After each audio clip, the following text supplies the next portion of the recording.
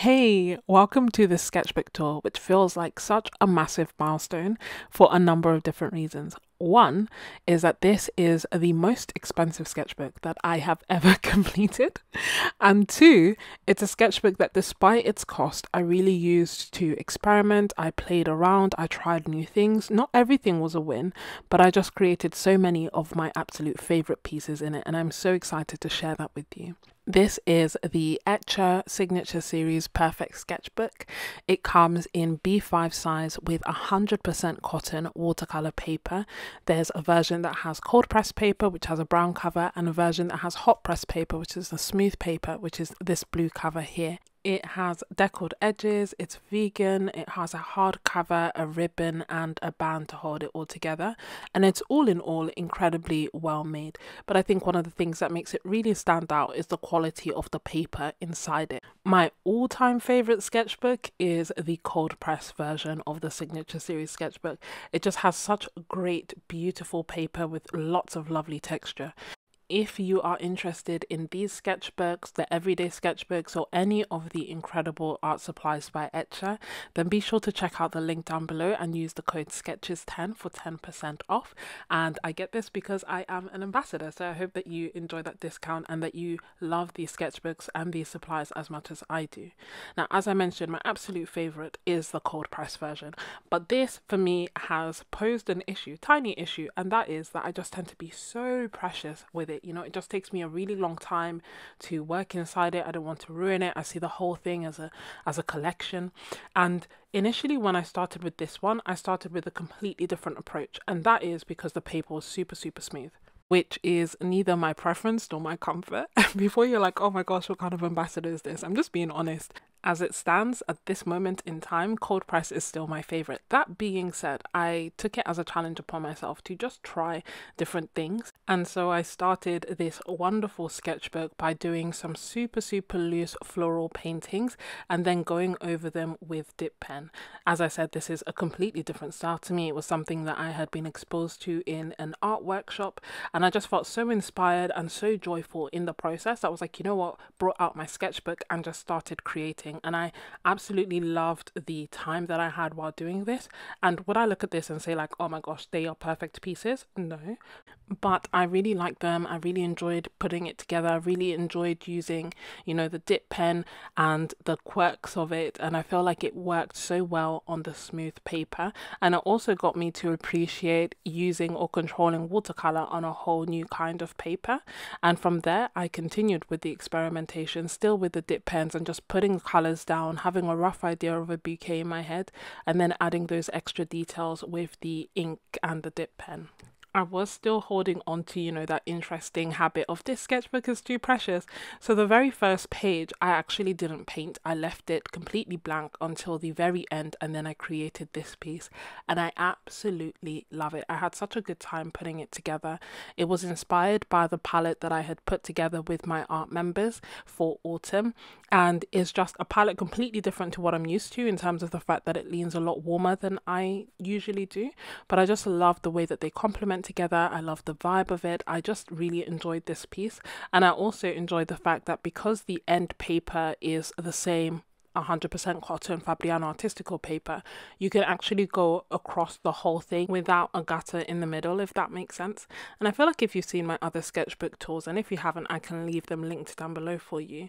You'll know that, um, you know, usually I try to stick to one subject for one sketchbook, but when it comes to my more experimental sketchbooks and the sketchbooks that I tend to have more fun in, like this one, I cross subjects, I cross mediums, and that's pretty much what I did. I just had such a good time exploring a new palette on new paper and um, also just focusing on creating watercolor landscapes because I kind of feel like it's something that I've wanted to work on for a little while and um, more times than not I don't tend to. So some of my favorite landscapes, both watercolor and gouache, were in this sketchbook. If you are a member and you want to watch the replay of us creating this palette, then I will leave the video linked down below. And if you're not a member and you want to become one, then again, be sure to check out the link um, down below if you'd like more exclusive videos, art challenges, Zoom sessions, and art workshops as well. Now, as I mentioned, it was just a lot of fun putting together our own palette and creating this. And this is something that you can do yourself. Sometimes, you know, you want to like refresh your excitement for your art supplies or you want to try something different or discover new color combinations. You can do all of that and more if you just try every so often to curate your own special little palettes and think about the little theme behind them. And for us, this time it was autumn and it was awesome. Continuing with that, I created this piece again using that same autumnal palette. And this one was a lot of fun for a number of reasons. One, I didn't have any internet, so I couldn't get a reference photo. And I actually decided to use my previous painting as inspiration for creating this painting. So I was kind of using my imagination, the previous painting, and the autumnal palette, and putting it all together, putting paint down to paper, and seeing what would happen. And I really, really enjoyed the results. The little cottage on the side kind of happened by accident. I loved the background.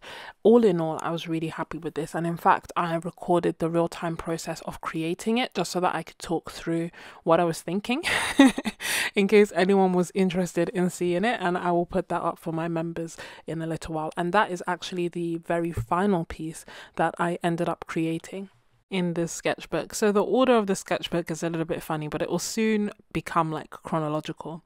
The painting on the right I actually created during a live stream. So if you want to see the real time process, you can every so often, I really enjoy going online and getting to chat with you as we create art together and we talk about art supplies and what we're doing in our art practice.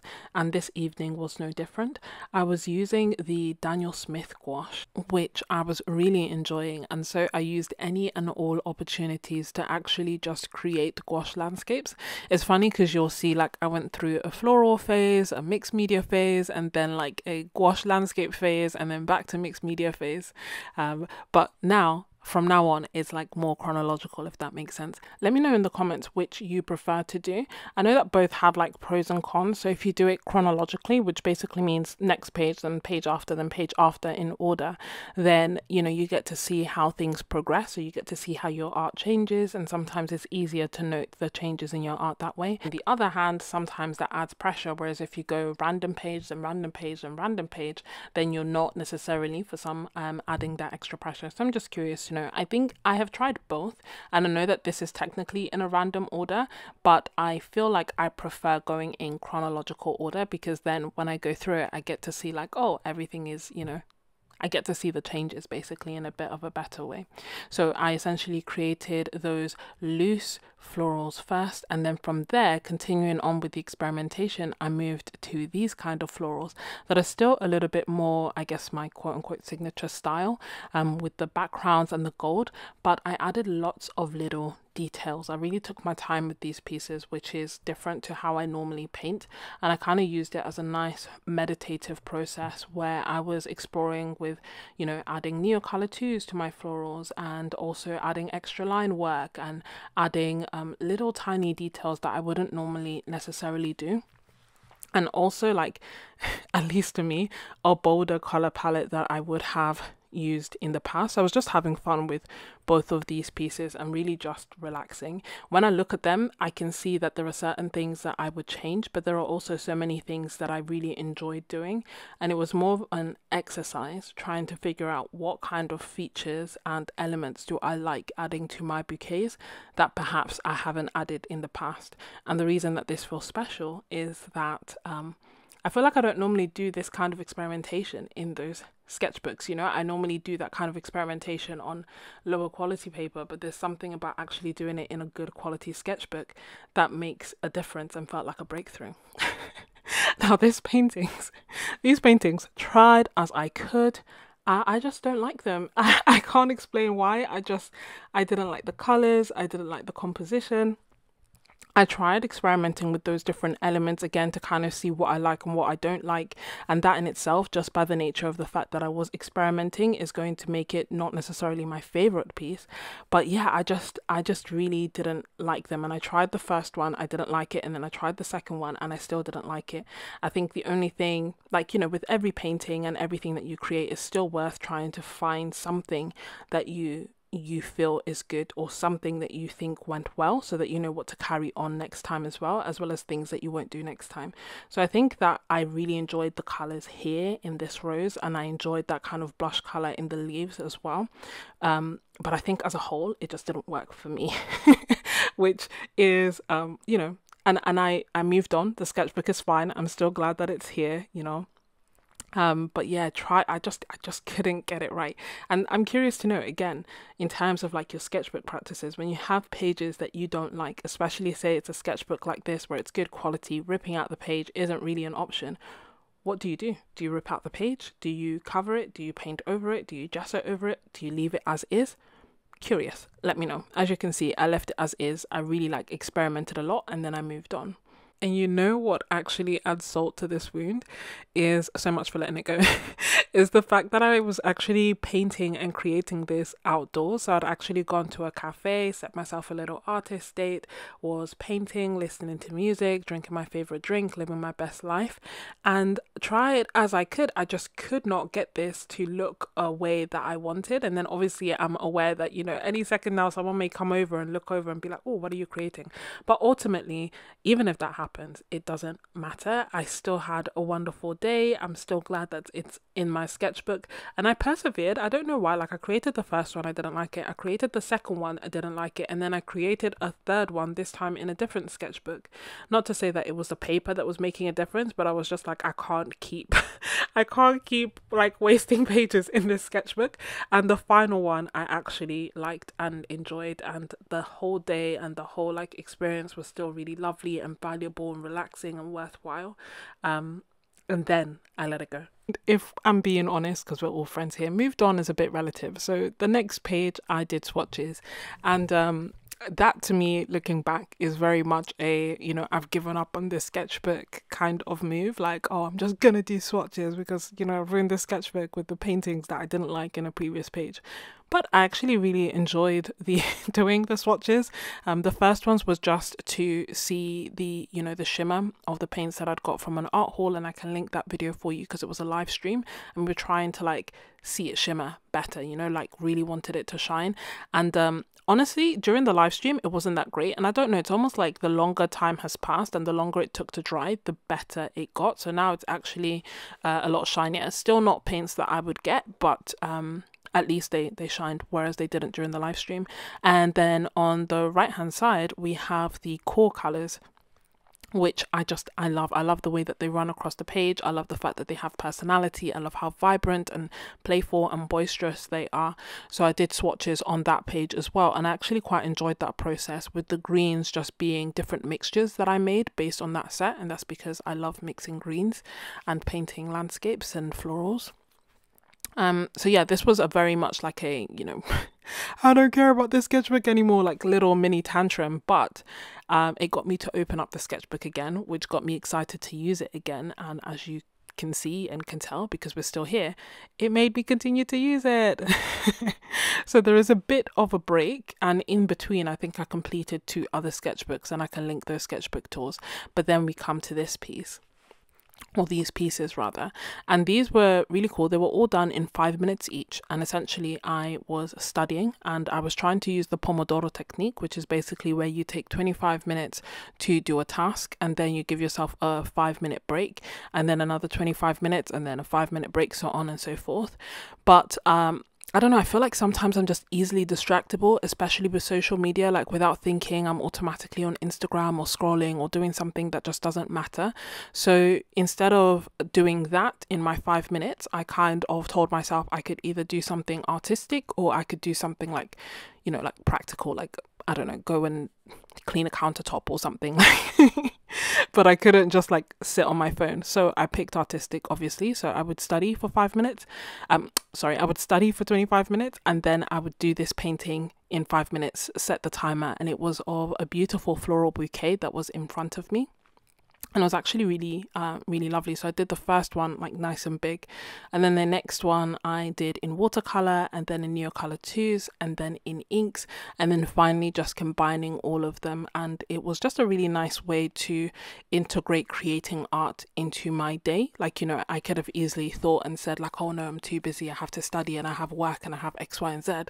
But actually this is an effective way of not only enhancing my studying but also getting that creative time in and enjoying the process. So, yeah, um, this bouquet was a source of a lot of paintings and a source of a lot of inspiration. And I hope that you're finding it interesting and helpful to just know the different sketchbook practices that I have, just because, um, you know, they've helped me along the way. They helped me not only complete the sketchbook, but enjoy the process of creating art. And I feel like that's ultimately one of the most important things. And yes, if you want to aim to improve your art and focus on things, you can do that too. But ultimately, I had fun in this sketchbook and I experimented in this sketchbook and I hope that knowing the different ways that I did that is helpful for you too. And that bouquet was such a huge source of inspiration for like days to come because every time that I came, they changed, you know, and I wanted to draw them again and paint them again. So much so that I actually ended up creating a reference guide full of reference photos of the flowers as they were changing, different angles, just so that I could go back to them myself and then I shared them with my members. Now, this not only inspired me to use that bouquet, but once they had completely wilted, I got this bouquet and then another and another and another. And then, um, especially like peonies, because like peony season is quite short, and turns out that I just love the way that they look. I love the way that they change. So I just used that whole period of like um, peony season to actually use that excuse to buy myself flowers. I don't know why it took me so long to do it, given that I love painting flowers, but honestly, it was a game changer and it was just so much fun to actually be able to paint them and draw them and be inspired day in and day out.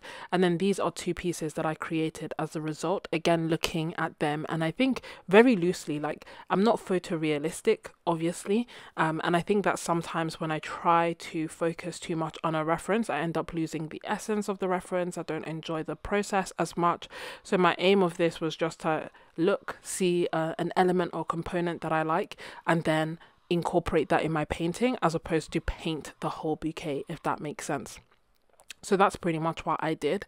And with the painting on the right, I actually did a one line drawing first and then went over it with paint afterwards. And again, I just, I really enjoy one line drawings. Um, something that's fun, easy to do, that warms you up and really gets you to see your reference and to think about where you're going next, especially because I find that if I hesitate, obviously it depends on what pen or whatever you're using, but if I hesitate, it um almost like the ink pulls and it draws extra extra attention to that area, which isn't necessarily what I want to do if it's an area that I'm hesitating in. All this to say, another fun exercise to do is one line drawings, timed drawings, and then go over, paint it, add extra details, and just also just get inspiration from live references, you know, from actual things. Set up a still life, buy yourself flowers, um, paint your art supplies, and just see what happens. And my love affair with flowers continued where I was inspired by the colors of the bouquet to create the piece on the left, whereas the piece on the right I actually created while on a Zoom call with my little sister. So she was creating her like massive, expressive, meaningful acrylic painting, and I was creating my cute little florals during our Zoom session and just like chatting and talking about art supplies, life. Um, it's something that we had talked about doing for ages, but we just had you know, just hadn't got round to it. So finally did, and it was just so much fun, and I had such a good time. And I was, I guess, more focused on the conversation and laughing and um, chatting than actually painting. And so I kind of used it as a meditative exercise to just add all those little details and add colors and just I don't know. I think I wasn't really thinking about the piece itself more so than just actually having fun with my sister. And I don't know. I don't know if that's why it's so bright and colorful and joyful. And then the next piece, which is this floral scene, in the end, I managed to save, but I don't know, there was something wrong with this specific page with regards to, I don't know if it's the sizing, I don't know what happened, but the watercolor just wouldn't lay on the way that it had been before and the way that it should. And I tried, I left it for like a few months. I came, which I rarely do, but like I, my intention was to just leave it like that. But then when I came back, I was like, I just hate this page. So actually, I tried with watercolor again, and still it wouldn't work. And I could have added gouache and other things, but in the end, I actually just decided to go over it with a brush marker to outline the loose watercolor florals that I had done, and I'm happy with the results finally. Um, but yeah, it's completely different to what I wanted to do. I wanted to build up layer upon layer upon layer upon layer, but it was just repelling the watercolor. Tried as I might, and um yeah, I mean, I'm glad I came back. I'm happy with the final results. It's just different to what I initially wanted to do, and I can't explain why because the rest of the paper was completely fine. As in, the rest of the paper in the sketchbooks is just this bit that um, was really fighting me. And then on the right, I painted this lovely landscape again from my imagination, I believe, using the Daniel Smith gouache. So basically, as soon as I started painting with Daniel Smith gouache, and with gouache in general, I couldn't put it down. So I ended up sprinkling like little gouache landscapes here, there, and everywhere. And this is actually a piece that I had created towards the end of my sketchbook, but because there was a plain empty page here and I didn't want to waste it, I came back and I created this lovely landscape, which was in part as I mentioned, from my imagination. And the thing that strikes me about it is that there's a lot of dry brush, which is interesting because obviously the paper itself is quite smooth. So it was nice to actually try and get all these textures even with a smooth paper and knowing that it is achievable. Um, and also, it felt like a nod to the good old days because back in the day, I used to paint with gouache on smooth hot press paper, and it's only within the last few, like more recently, that I started using cold press paper, which is my preferred um, paper now. Now, next, I did a live stream where I essentially shared some of the incredible art supplies that Kristy Rice very kindly gifted to me you probably know her already. I'll leave her YouTube channel link down below. But as well as creating art YouTube videos, she makes really wonderful art supplies which I will also leave linked down below. And I had been trying to get my hands on for absolute ages, um, but it's only more recently that they're more easily available in Europe. So for this live stream, I not only unboxed these art supplies, but then actually painted with them. And I must admit, I must admit, I don't feel like my paintings did them justice. I do feel like the um the Art for Joy's Sake palette has a really unique palette that I still need to like get to grasps with. Um, so I used a very limited color palette when creating these pieces, focusing on world watercolor prompts, but focusing on actually incorporating flowers and that limited palette into it, and also just taking the ideas and suggestions of people who are watching during the live stream. Because as I say, the beauty of it is getting to paint and create together. So if you are looking palettes with beautiful designs on them, if you're looking for dagger brushes, if you want to support a female owned business, if you love art supplies as much as I do, then be sure to check out the links down below and Kristy Rice's YouTube channel for more. Now, speaking of making art for Joy's sake, this page was actually created during one of the live stream sessions with my members, and it was created in multiple parts. So, the first bit was um, essentially doing exercises really quickly, like draw without uh, lifting your pen up, draw without looking at this, draw in this kind of period of time. And we filled up the page with all these different references that I had created. And then I set another timer, this time focusing on adding color. And um, I, I honestly just used it as an opportunity to just make a really fun pattern, add as much color as I could. And it was a warm up exercise, which is quite different for me to do in like, like I said, sketchbooks like this. But this whole sketchbook was just like a have fun fun, don't think about it, experiment, the paper smooth, try new things kind of sketchbook. So I did that, and then that led on to our second exercise, which was focused on kind of doing the same. So this time it was in reverse. So rather than putting the line down first, we actually put the color down first and filled up the whole page with all these interesting shapes. And then set another timer, this time focused on using different supplies for each seashell to add the details to kind of bring the whole thing together. And it was great because it was an opportunity to learn and figure out what kind of materials go on top of watercolor or go on top of you know other materials. What kind of colors do we like? What kind of different compositions do we like? Each seashell although i was kind of doing you know the rough shape i was also dropping in colors into them to kind of see what kind of interesting mixes i could get. So the whole page was a a lot of experimentation, a lot of fun, and I really like the funky, cool pattern that we got at the end. But even more than that, like looking through it, I could see like, oh, okay, I really like the way that Posca works with X, Y, and Z, and I like the way that Neocolor twos go down, and I like that I can use Pitt pens to reactivate Neocolor twos, and just all these things that wouldn't necessarily come to mind if I was just using art supplies the way that I thought they were meant to be used. And I put all of that together to create this piece, which was our final piece from the session. And again, a lot of fun to put together. A lot of experimentation, really thinking about okay, well, what colors did I like that worked together in the previous one? Thinking about like complementary colors, thinking about the granulating colors, and also, despite them being on smooth paper, there was just so much granulation. And this was I believe, using our favorites palette, um, which is a palette that I put together with my members, selecting all our favorite colors. And one of them was, I believe, Sonia's French ultramarine. And um, and that granulated beautifully. So the whole thing was just a really lovely, fun day. And the replay is still available if you are a member, just in case you want to follow along, try it yourself, and see what results you get. Then, following that, we get to this. So, this is when I officially was like trying gouache again, and I was like, I love it so much, I can't stop so funny because time really does fly and when it like is all said and done it ended up being six months where i didn't paint with gouache. And you have to understand i had like many other sketchbooks like i have many sketchbooks going at the same time. I started and completed many sketchbooks while this one was still ongoing. So in between i went through like very much another watercolor phase and a mixed media phase but then i ended up coming back to my gouache phase. And this was using the Daniel Smith gouache, which I was really, really enjoying.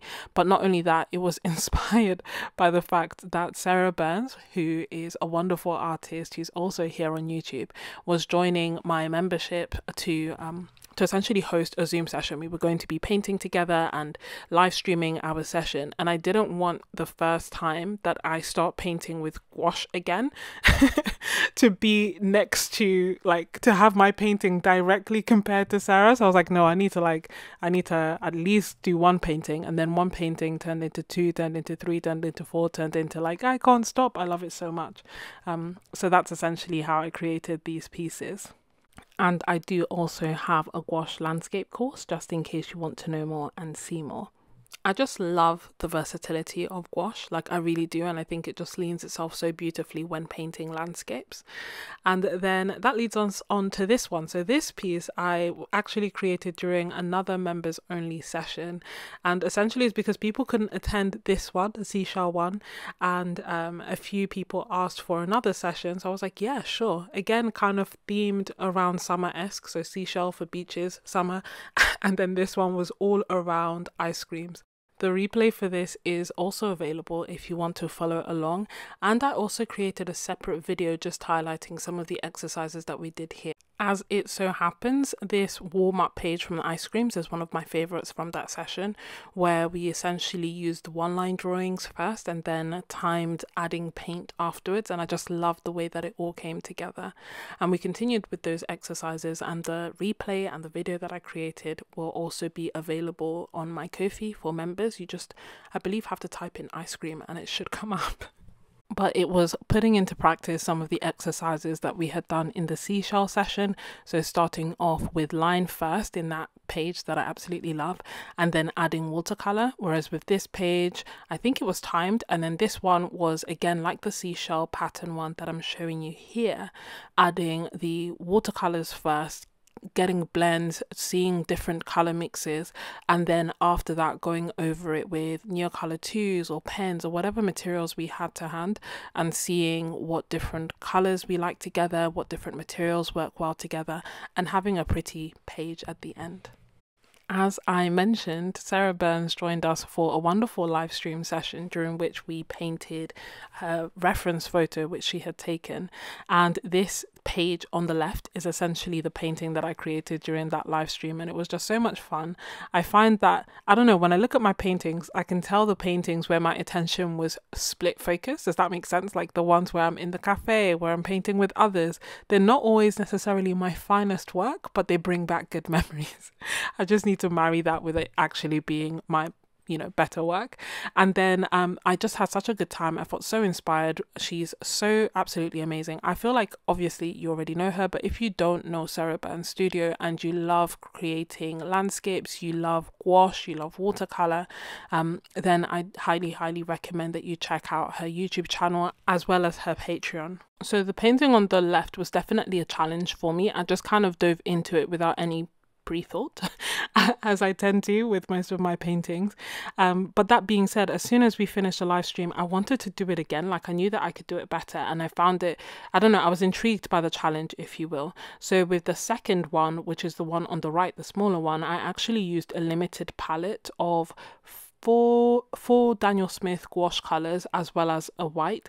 And I just much preferred the the final results. I kind of felt like the colors were neater.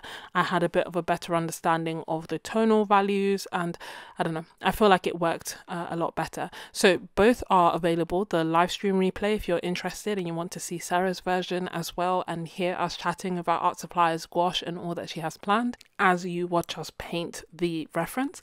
But I have also created a separate video where I highlight the process of creating the painting on the right. Following that, oh, I absolutely love this this page um, because it just brings back such great memories where I essentially went to a wonderful park in London and while there I sketched the view. So I started off with the painting on the top left, then bottom left, and then when I was at home, the painting on the right. Um, and there's, yeah, I mean, they bring back great memories. I used the Daniel Smith gouache again. I was really trying to get familiar with it and also I was just enjoying it. Like I find that when I'm enjoying something, I just don't want to stop. And when I see opportunities to use them, I do. The trunk on the right was really challenging to try and to try and depict all the texture that's on the bark. And it's so funny because obviously i'm in a stunning park that has like beautiful landscapes and flowers and things around and i'm like oh that dead tree. I want to paint that dead tree. Um so I painted the landscape and the view first and then took a few pictures of the tree which I then painted while at home and I just loved the whole spread because it um, just reminds me of a really lovely day and I love the way the paintings look as well. Then these paintings, still with the Daniel Smith gouache, like you can see that I was really just going through it. Um, I don't know, I, I don't know about making a review. I guess I've used it enough that I could make that. Let me know if that's something that you would be interested in. And these paintings I created during a live session with my members again, so the replay will also be available. And it was just fun. Uh, I enjoy painting landscapes. I enjoyed using gouache and putting them together while chatting with awesome people. Just was an awesome day. I remember the top painting in particular because I was like talking through my process and we were creating it together.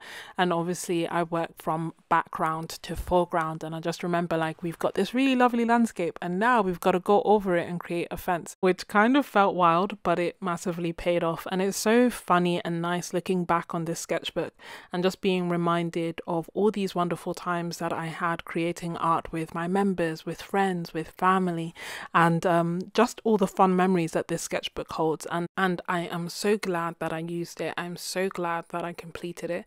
I'm so glad that it houses all these wonderful memories. And in terms of like, you know, answering the question of what's the best sketchbook, I think ultimately the best sketchbook for you is the sketchbook that you will actually use. And I am so excited to take the lessons that I learned from this sketchbook and apply it to other sketchbooks where I love, love, love, love, love the paper too.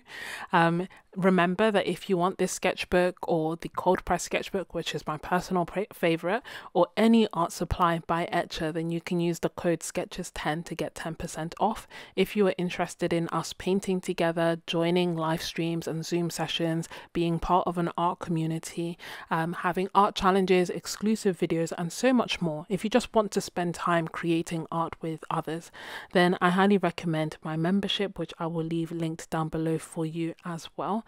And if you're still watching, you already know that you are a real MVP, and I really, really, really, really appreciate you. Let me know that you are still watching by telling me your favorite kind of paper or surface to work on. And if you remember the question from earlier where I asked you whether you work in sketchbooks in order or out of order and you feel like letting me know, then I would love to know that too.